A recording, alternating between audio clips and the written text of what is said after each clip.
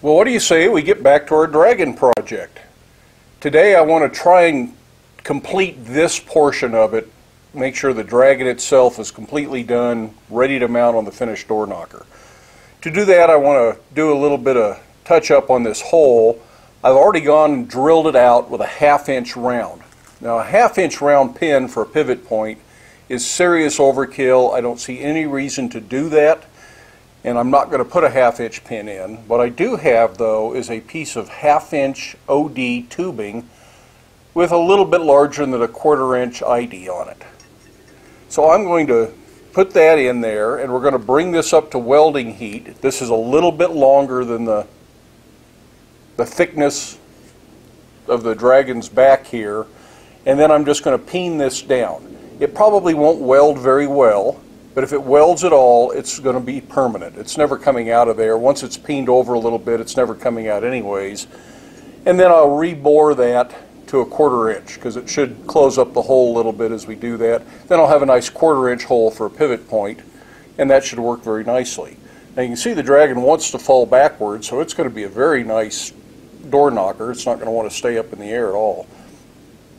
So the first thing we need to do is we need to get the coal forge lit and we're going to weld this little tube in. So the tube just fits right inside the hole there. The big thing is that I have to make sure that I don't accidentally drop it on the floor or lose it in the fire. It's a fairly tight fit. I should be able to drive that in and it should stay.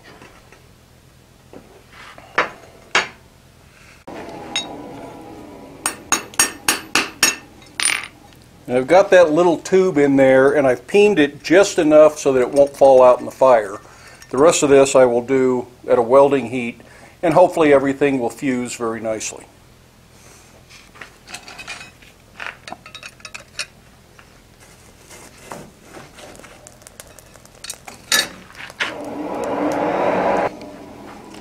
I think I will add just a little bit of flux. A little bit of flux is all I've got left in this jar anyways to a welding heat. I'm just going to do one side of it. This is really very light. I'm going to do the other side the next heat.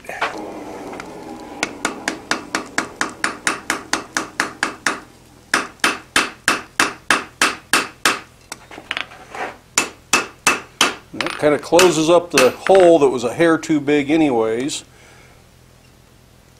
Going to be able to work with that very nicely now, I think.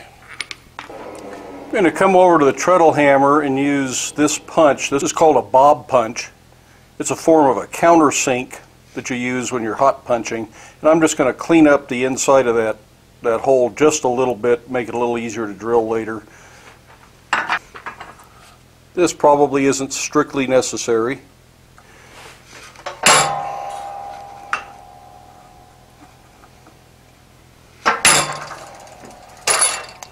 Think it might help. And that's really all we're going to do to that. The next thing we're going to do is forge the tongue. For our tongue, I am going to start with one of these broken horns. I think I'll use this one. It looks about the right size. I'm going to draw it out and round it up some more until it is about a quarter inch in diameter, maybe a little smaller, and then draw the tongue out of the end of it. We're going to keep it at welding heat, and we're going to work square, and then we'll go octagon, and then we'll go round. The exact size doesn't matter. We have not prepped the head for the tongue yet. So we can continue to refine this a little bit and get it to size we like. Of course, this cools off really quickly.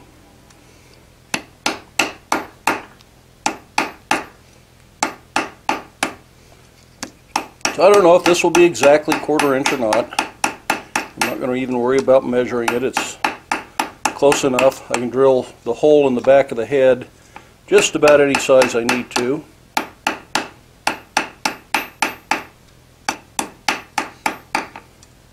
So I've got one end rounded up nicely. Now I can turn it around and work on the other end. And I'll find a pair of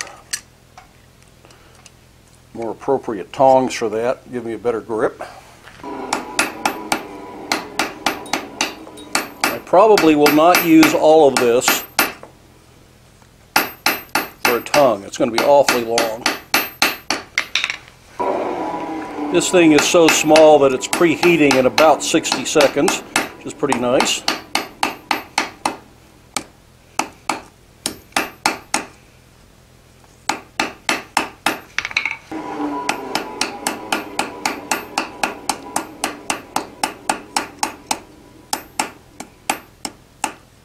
Okay. I'm going to leave about a half inch of this full round. Then I'm going to thin that out into a nice flat tongue.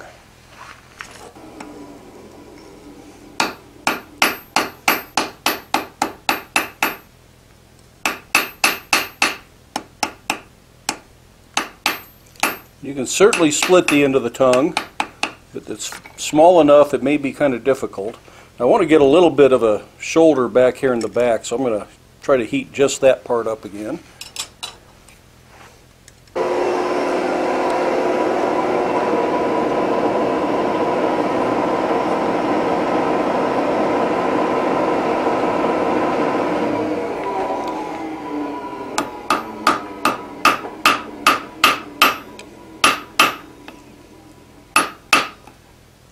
Should become obvious when we actually get to that part of it. Now this is too cold for any serious forging. Just straightening it out a little bit. Before I shape that, I'm going to install it and we'll shape it using a torch so we can get a shape that actually fits the mouth. And we'll see if it's too long. I suspect that's a lot longer than we need. But that's all we're going to do for now on the tongue. The next thing I'm going to do is take this piece that I had cut off and I'm going to round it up and try to make the rivet that'll go through that pinhole. So we need to make this into about a quarter inch round. That's a little bit cold.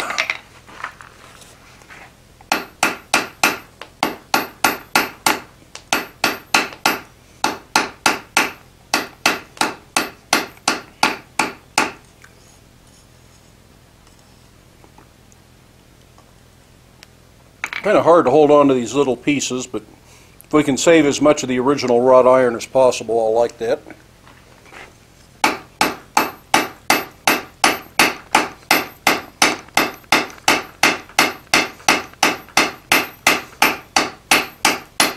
I'm going to take the whole thing down to about a quarter inch square before I start to round it up.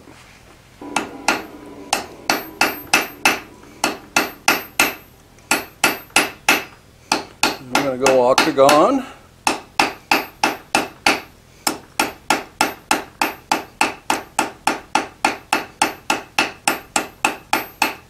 These are nice light blows. We're below welding heat, but I'm not trying to do anything but smooth the surface here. And that gets that end done. It looks like it's going to taper a little bit, but as long as it's pretty close to what we want, it should work.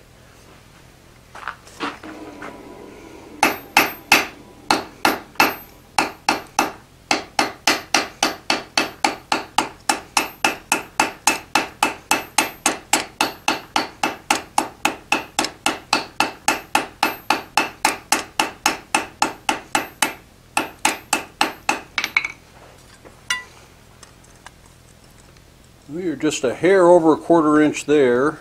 This skinnier end is a quarter of an inch. And we have easily two inches, way more than we need for a, a rivet.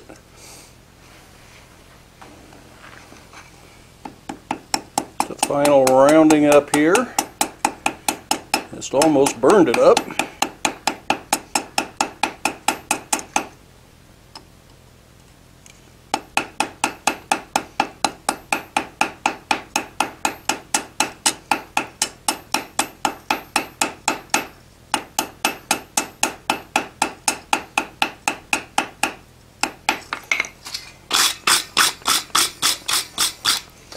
I think that's going to be more than enough rivet material for us.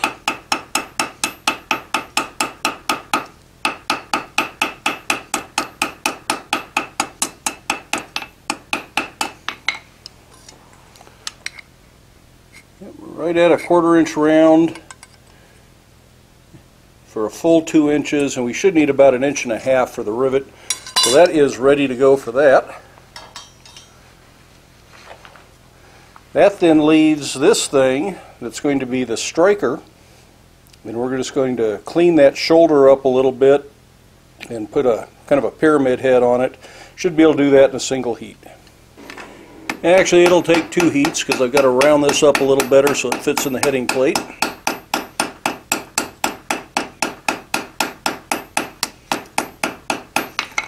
There again, there's way more of this than we're going to need in the long run. I think that's going to work. We'll get the whole thing hot, drive it in there, and clean up the shoulders.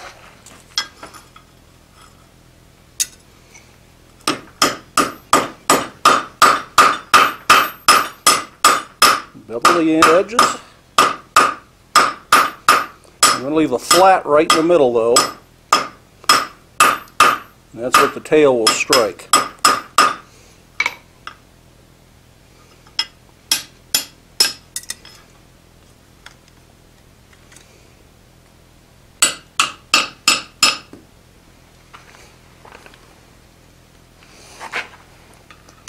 So there's the piece. So the bar that we started the Dragon itself with, we still have one horn bit that's left. I'm going to draw that out to about a 3 16 square bar and hope that I can get four nails out of it that we can use to attach this to a door.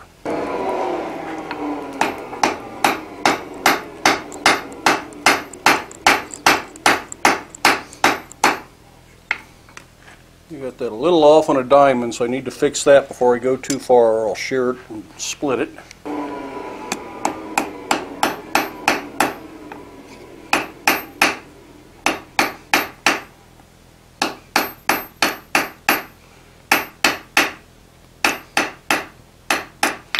I don't think that's as small as I want it yet. That's still a quarter inch. I'm going to take that a little bit smaller.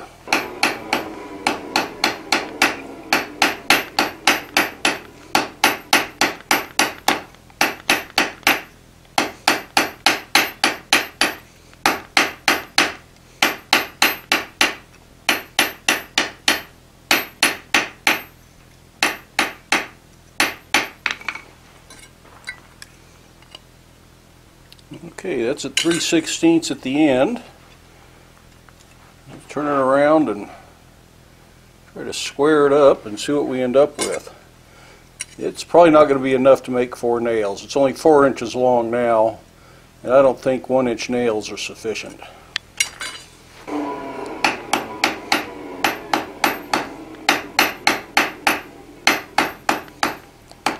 may just take it down a little bit smaller and see if I can make it longer.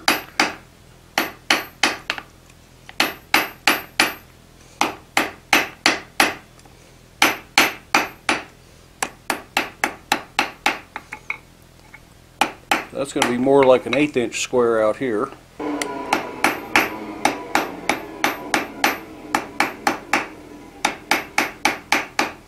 I'm not turning this between every blow because I'm working lengthwise and I try to work all the way down and then turn it. It's kind of a fiddly little thing. I don't know if it's worth the trouble or not. We'll finish it up anyways.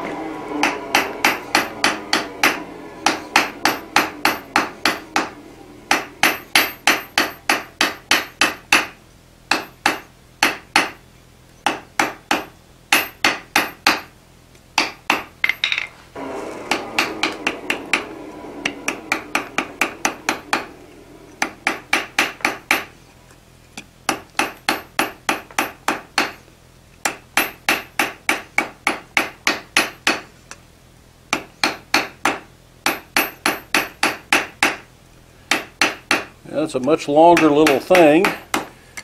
Whether it's going to be good nails or not, we will find out.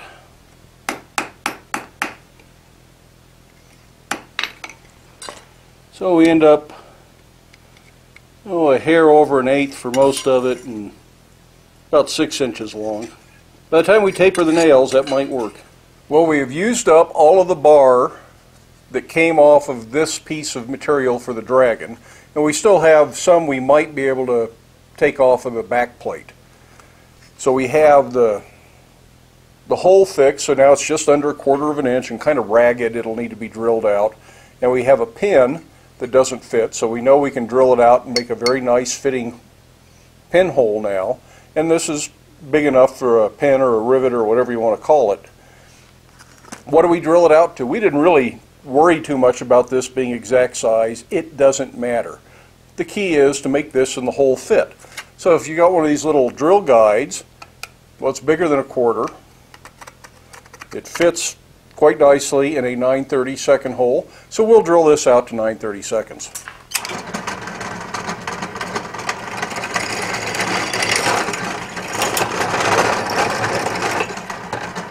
So that's all that needs to be done. I'm going to go ahead and countersink the holes just a little bit. That make sure that we don't have something that's going to uh, cause that to wear and shear the pin off. So that should work just fine. We'll polish the pin up a little bit before we install it. Now the part you've really been looking forward to, let's put the tongue in and he's going to insert, we punched that hole in the back of his mouth, but that hole's not large enough diameter or deep enough for the tongue to really work. And I think his tongue's a little too long at the moment. But we'll take a look at it, we'll see what we want to do. So the same thing, I want to know how big a diameter I ended up forging this. And it's a little under a quarter. It's a very tight fit in 15 64ths. So that's what we're going to go, go with. We want this to be very tight in there because it's going to be kind of a shrink fit is my plan and I'll show you how we're going to guarantee it stays in. If we have issues, we can lightly braze this by putting some brazing rod on there, putting it all together, bringing it up, getting it hot, and then letting it cool, and it should stay put. But if we don't have to braze it, there's no reason to. This is not a high stress part of the Dragon. So we're just going to try and drill straight down his mouth. Make sure you don't go up or down or you'll poke through and you'll have a big hole coming out the top or the bottom of him. And that would be bad.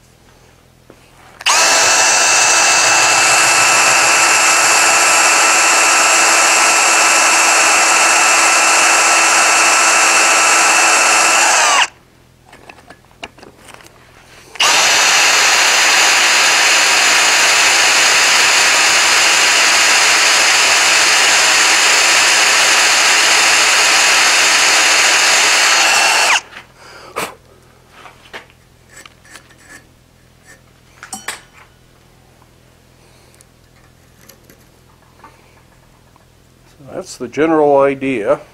I think I want to go just a little bit deeper.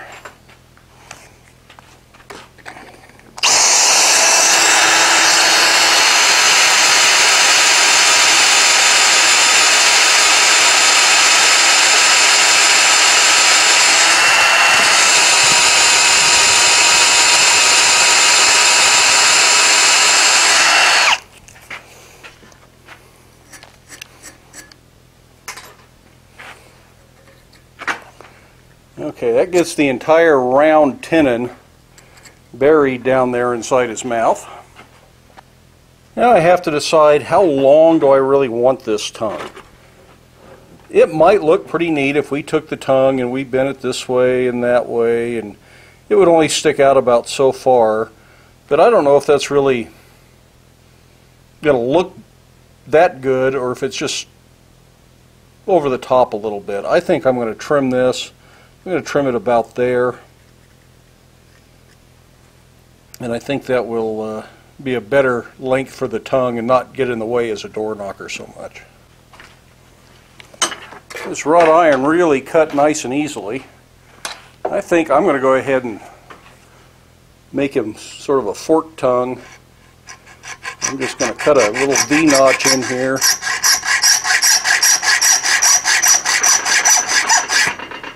We could certainly do this with a chisel, hot, but since it's cold and I'm at the vise,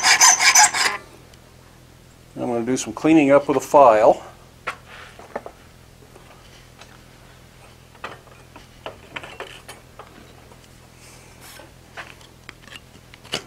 Try and make both sides as even as I can.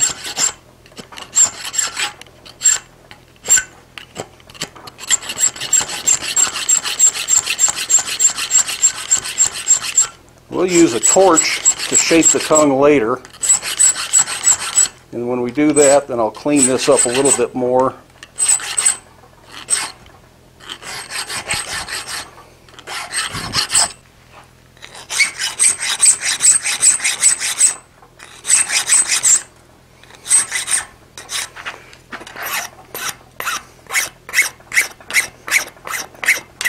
Want this to be nearly pointy, but not quite, because I don't want anybody to get hurt on it, but I think it'll look better if it comes just almost to a point. Last thing I'm going to do before we actually put the tongue in is file a little notch on each side. And the final fitting process, this notch is what's going to help hold it. I'm just using a small chainsaw file. Nothing sharp. It's a sharp file, but doesn't leave a sharp edge. And that should really hold this nicely.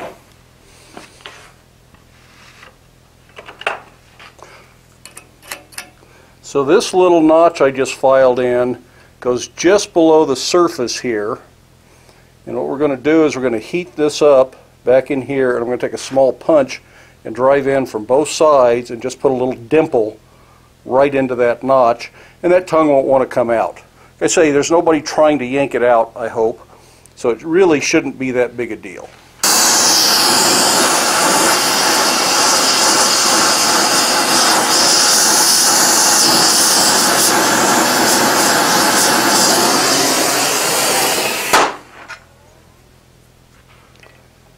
So insert that down in there. Take a punch. Just drive in from either side. This is that same little ball punch that we started this hole with. While I'm here, I'm going to clean up his nostrils because they got kind of scaled over. And that should hold that. I don't want to grab it because I guess it's hot. Oh yeah, that's good and tight. That's really all that tongue needs to stay in place. But it doesn't look good straight, so I think we want to shape it a little bit.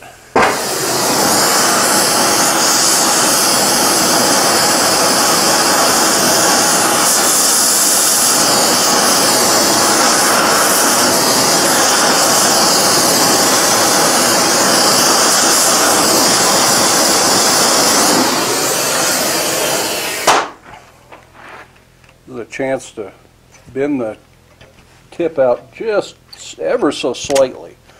I don't think it needs much.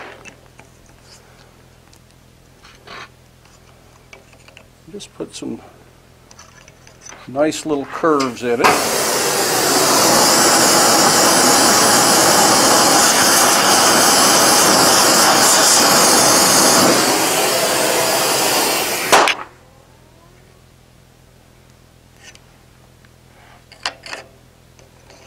And hopefully we end up with something we we rather like.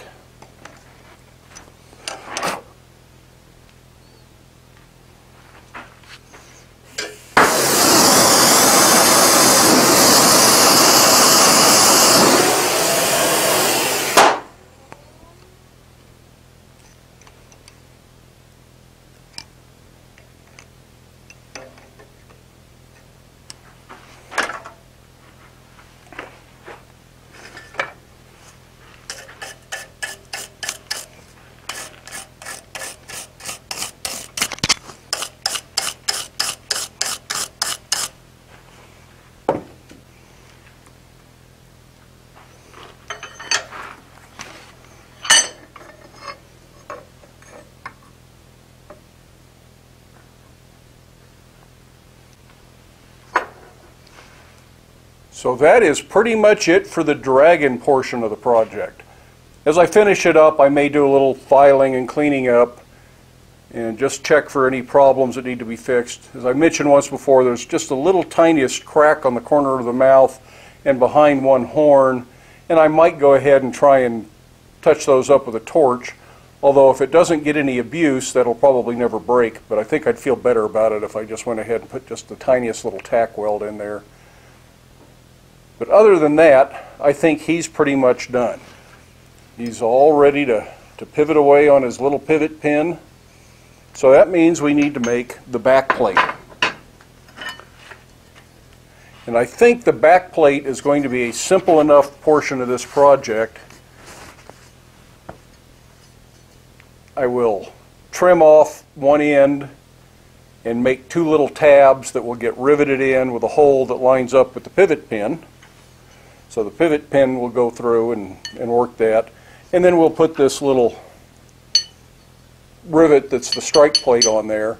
And that's all there is to the mounting plate. So I think that's going to be a good job for a fourth and hopefully final video, unless I cover some of the finishing issues. And for finishing, somebody asked if I was going to acid etch it. I'm not going to. I know wrought iron can look really cool that way. But to get a good etch, you really should sand it pretty smooth first so that you can really see the, the etch effect. And I don't really think this should be sanded that smooth. I am going to sand it a little bit though, just to bring out some highlights. And the highlights will be more the high and the low spots from the forging. And then we'll use kind of a, uh, an oil finish that I won't apply hot like I usually do. I'll apply it cold and let it dry. And that way the silver highlights will show. And that's a very old way of finishing things another one of those things I learned from Ernie Dorrell in his class on Gothic ironwork, and he says it's a very traditional finish. And we'll talk more about that in the final part. But I probably will not show all that hand sanding. I will probably spend several hours sitting in front of the computer or watching TV or something like that doing the hand sanding because it's a slow, tedious process. And we'll just talk about it briefly so you can see kind of what goes into that. But I think we're going to call it a day for the, the dragon there. We've done everything we need to do to it, and if you're making a dragon for some other purpose, pretty much that's everything you need to worry about. Everything else has to do with assembling a door knocker. I hope you enjoyed that. I hope it was entertaining. I hope it was useful. Give it a thumbs up. If you haven't hit that subscribe button already, go down below and hit the subscribe button, or wait till the very end of the video. It usually shows up right around in here somewhere. There's a place you can hit to subscribe. Watch a few more of the videos, share the videos with your friends, but make time in your day to get out in the shop. These dragons aren't going to make themselves. But stay safe, wear your safety glasses, and we'll see you for the next one.